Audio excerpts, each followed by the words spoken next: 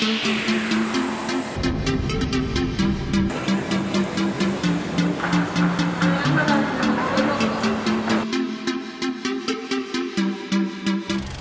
Welcome sa panibagong episode ng Spotlight mga kaibigan At syempre, nandito tayo ngayon sa Agria, Davao del Norte Buti natin, magagandang lugar dito sa Davao Tara!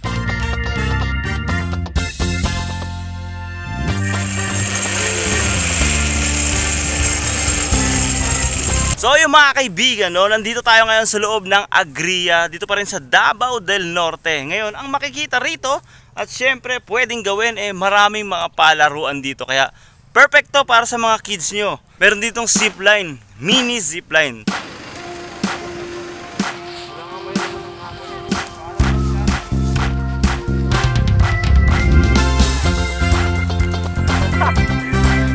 Pwede rin ditong magkaroon ng ah, event.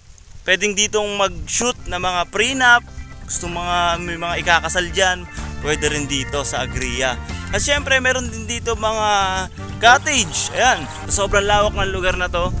Pwedeng pwede ditong mag-picnic, ayan, kasama yung pamilya nyo, kaibigan. Meron din silang ah, fish pond dito. Ayan, may mga boat na pwede kayong ah, mag-relax at syempre maminuwet ng mga isda. Yun.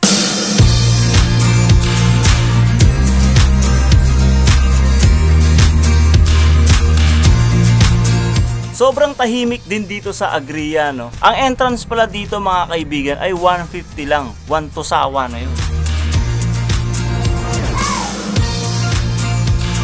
Kapag nagawi kayo dito sa Agria, Davao del Norte, sulitin nyo na. Lalo na yung mga may hilig sa picture.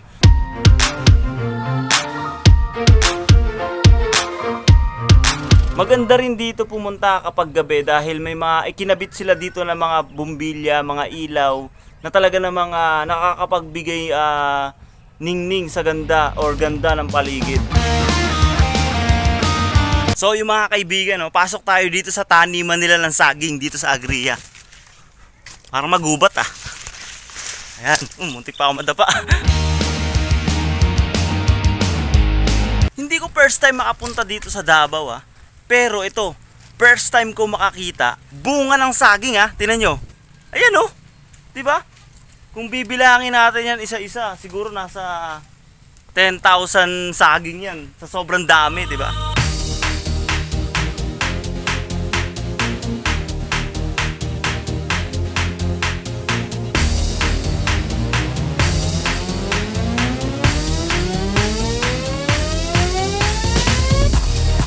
So mga kaibigan, after natin dito sa Agria, punta naman tayo sa malapit na lokal dito. Ang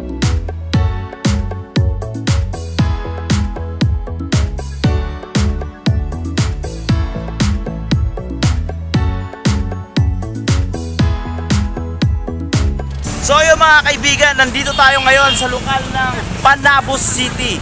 Itong lokal na to ay malapit sa Agria. Ayun. Ang seating capacity nito ay 755 at syempre, itinatag ito noong May 2018.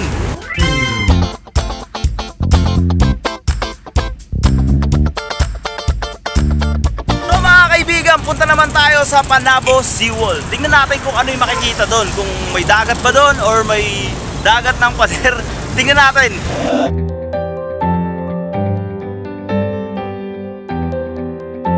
Mga kaibigan, no, galing tayo ng lokal ng Panabo. Ngayon naman, nandito tayo ngayon sa Seawall. Oh, Seawall kung saan makikita natin sa likod ko ang napakalawak na dagat. Dito pwede kayong mag-relax at syempre pwede kayong umupo dyan sa gilid, pwede kayong kumain at syempre yung pinagkainan nyo itapon nyo sa tamang basurahan. Yun.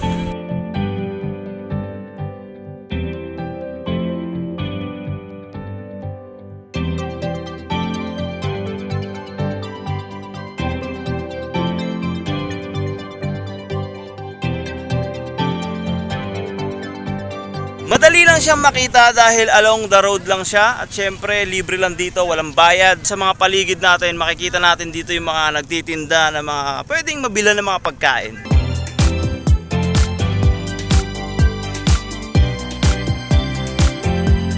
Yon, mula dito sa Seawall, punta naman tayo sa Mangrove Forest. Eh, tingnan natin kung marami nga ba talagang puno doon.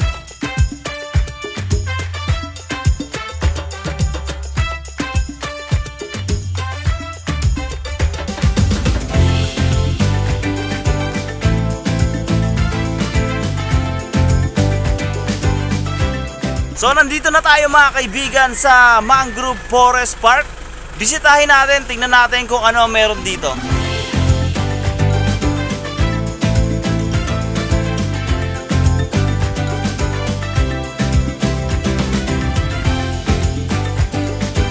Mga kaibigan, yung bungad ng Mangrove Forest Park, eh ito. Kita nyo naman, puro mga puno at syempre mga kahoy sa gilid. Puntahan natin kung ano meron dun sa dulo. Tara!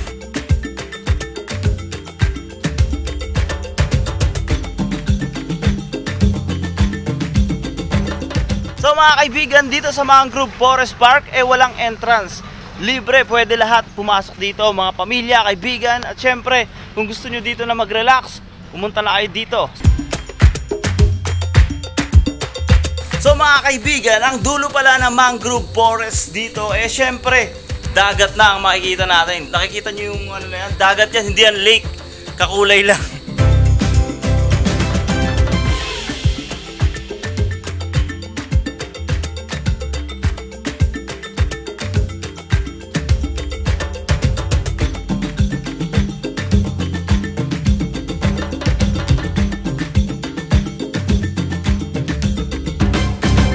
Mula dito sa Mangrove Forest, punta naman tayo sa lokal ng Panabo JPL. Tara! So yung mga kaibigan, no, galing tayo kanina sa Mangrove Forest at syempre, nandito na tayo ngayon sa lokal ng Panabo JPL. Ayun, itinatag ito noong August 2002. At syempre, ang seating capacity nito ay 1,000.